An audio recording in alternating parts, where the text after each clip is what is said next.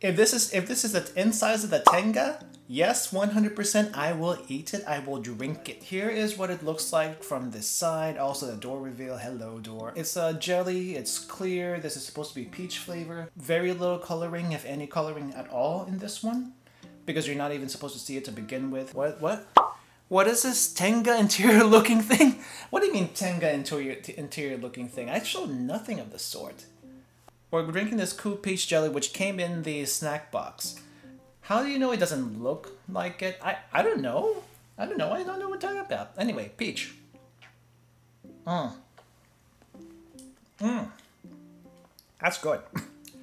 That's good. It's like refreshing. Okay. If this is if this is the inside of the Tenga, yes, 100% I will eat it. I will drink it. Because it tastes like peach. It is very refreshing. It is very light. It's not too sweet. I would drink it all the time.